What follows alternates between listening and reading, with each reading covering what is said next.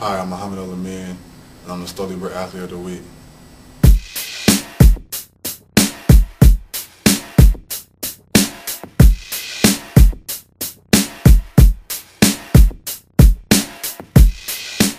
I'm from uh, Lansing, Michigan. I went to Holt High School.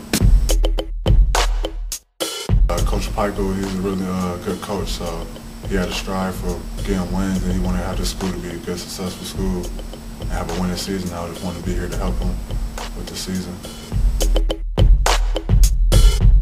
Just playing this feels it feels good to play basketball for me. It kind of keeps me normal and everything. So just playing basketball is fun for me.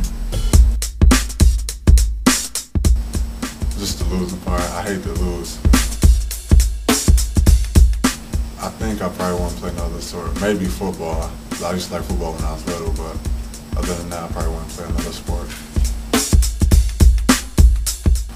my mom because she's a strong lady. She got seven kids and she's doing it all by herself. So I look at her because she's strong and has the power to stay with us and everything. So I really think her as one of my role models.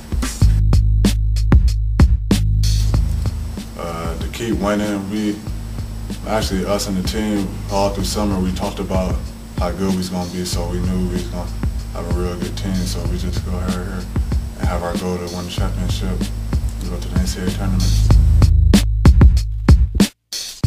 Probably people probably don't know this, but during stretching, I like I pray, pray I have a good game and everything. So y'all probably don't see that, but I do that during stretching and everything.